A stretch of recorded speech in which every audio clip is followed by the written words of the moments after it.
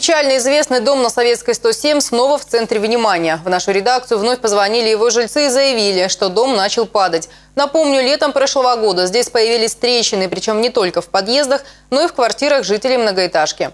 С этого времени люди пытаются доказать, что причина тому строительство 8 микрорайона. Оно развернулось прямо под их окнами. Теперь же, говорят ноябрьцы, дом еще и отклонился от вертикали. Кирилл Мигель продолжит.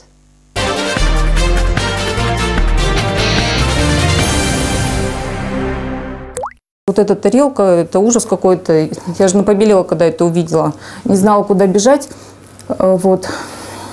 Пошла по соседям заявлять, что у меня уже вот перекос дома идет, что ли. Привычный семейный ужин для Анны Чусовитиной недавно закончился настоящим шоком. Только она поднесла ложку к свежему ароматному супу, как вдруг заметила, что он едва ли не выливается из тарелки. Тот же стол, тот же пол, но никогда раньше ничего подобного не было, говорит женщина. Вот у меня уже почти собраны чемоданы на экстренный случай, то есть документы, необходимые вещи, чтобы, э, если ситуация станет э, настолько критичной, брать и вещи и уходить. То, что дом продолжает трещать по швам, подтверждают установленные коммунальщиками маячки, говорит Анна. Они установлены в подъездах 107 дома. Местами эти белые листочки с печатями вздулись, а кое-где уже просто порваны. Вот здесь самая э, большая трещина. Это получается между первым и вторым этажом, как раз снизу. Начинается здесь пошире, а э, дальше поуже идет. То есть подъезд так расширяется.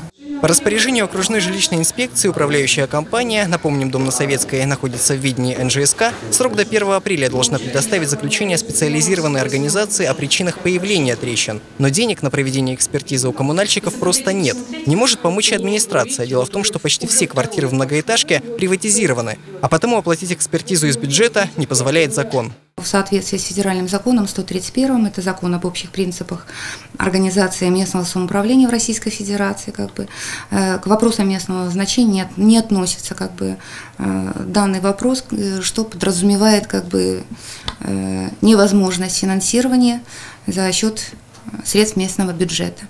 Э, Другое дело, что если стоит вопрос о том, что на основании решения общего собрания будет принято решение о проведении такой экспертизы и об источниках ее финансирования за счет собственников, то в части имущества, принадлежащего в данном доме муниципальному образованию, город Ноябрьск как собственников, да, мы присоединимся как собственник в части своих квартир.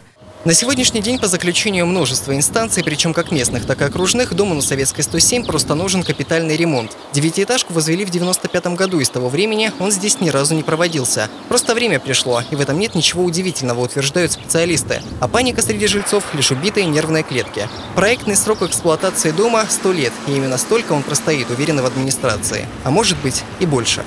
Кирилл Мигель, Антон Владимиров и Виталий Харченко. Новости нашего города.